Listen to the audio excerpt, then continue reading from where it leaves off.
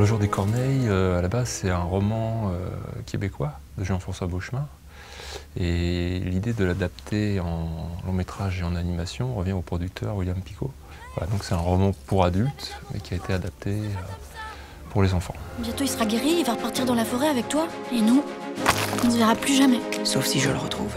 Si tu retrouves qui? Son amour? Le thème profond de l'histoire du roman, c'est un enfant qui cherche l'amour de son père.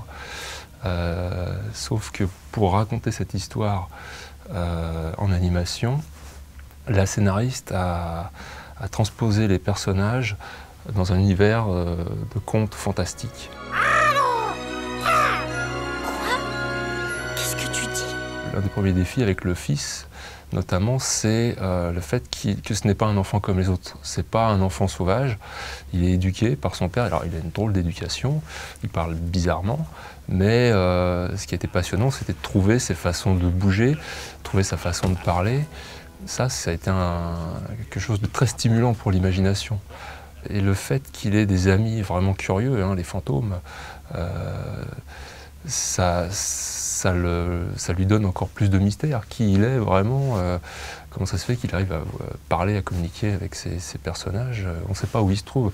Dans les euh, sept premières minutes du film, ce qui, me séduisait dans, le scénario, c'est qu'on ne sait pas si on est à l'âge de pierre ou si on est. Euh, voilà, on ne sait pas où on est, qui, qui on est. Puis d'un seul coup, une ligne à haute tension. Alors là, ça, fait qu'on se pose beaucoup de questions euh, tout au long de l'histoire. Qu'est-ce qui lui est arrivé à ton père? Il a versé du toit. Ah. Enfant, on veut savoir pourquoi on n'a pas le droit d'aller de l'autre côté. C'est là, c'est l'éternelle question. Et, et, et c'est le moteur de, de, de, de, bien des changements. Hein.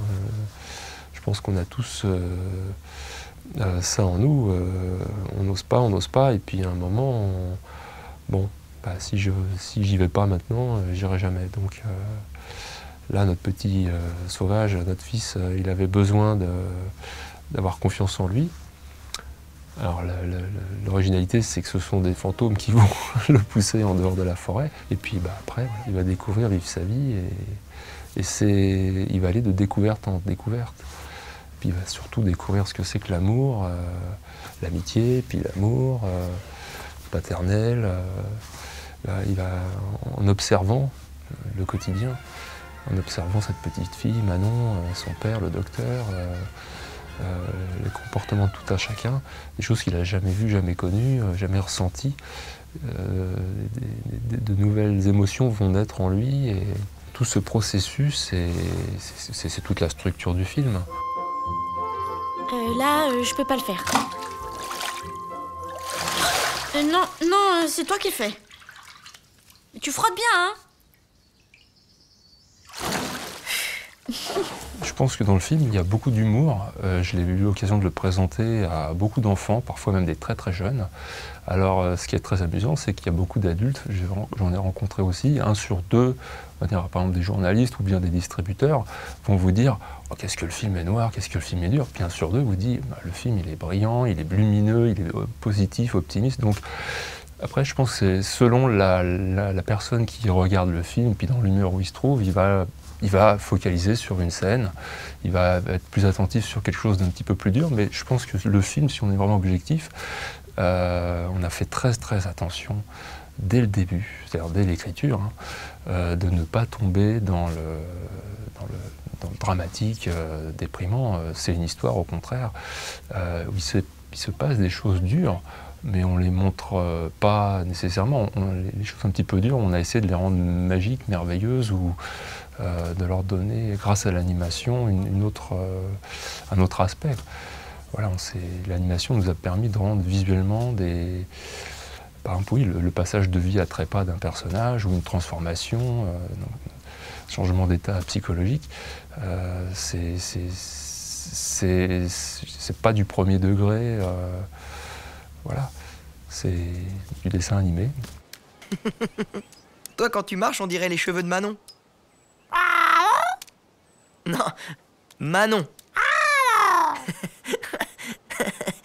C'est ça, Manon. Notre casting Manon. idéal, c'était voilà, Jean Reno pour le père, Laurent Deutsch pour le fils, Isabelle Carré pour Manon et euh, Claude Chabrol pour le docteur. Euh, ben, on a eu la chance que chacun de ces acteurs euh, est accepté immédiatement. Parfois ça a mis du temps parce qu'ils ont des emplois du temps très chargés, mais ils ont tous accepté euh, parce qu'ils aimaient tous le récit, euh, parce qu'ils aimaient l'animation ou parce qu'ils ont fait ça en pensant à leurs enfants ou petits-enfants. Et euh, bah, ça a été une, vraie surprise et puis surtout très payant parce que leur, leur, leur sensibilité, euh, leur, leur intelligence au service de cette histoire nous a permis d'avoir euh, une montée comme ça en puissance du, du- du récit et de la qualité du film. Tu parles à des fantômes? C'est là. Crois que tu pourras m'emmener? Ah oui?